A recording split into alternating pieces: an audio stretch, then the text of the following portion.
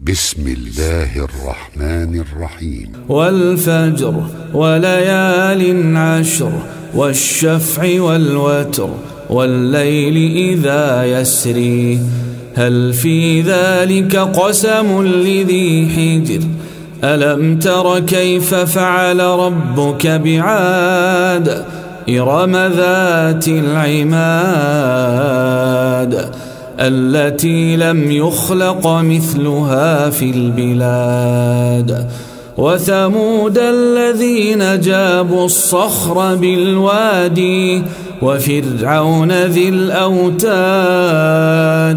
الذين طغوا في البلاد. فأكثروا فيها الفساد. فصب عليهم ربك سوط عذاب.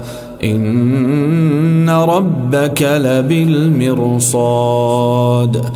فأما الإنسان إذا ما ابتلاه ربه فأكرمه ونعمه فيقول فيقول ربي أكرمني.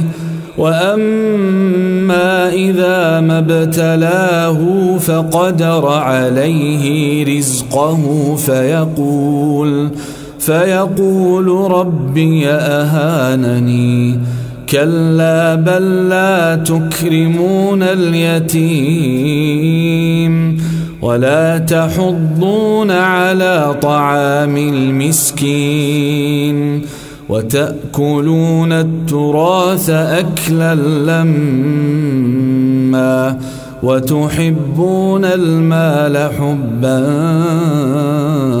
جما كلا إذا دكت الأرض دكا دكا وجاء ربك والملك صفا صفا وجيء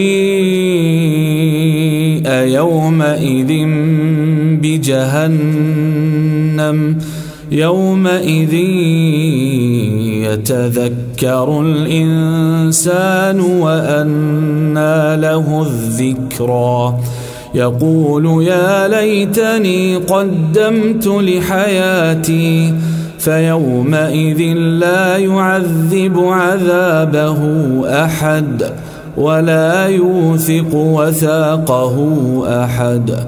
يا أيتها النفس المطمئنة ارجعي إلى ربك راضية مرضية.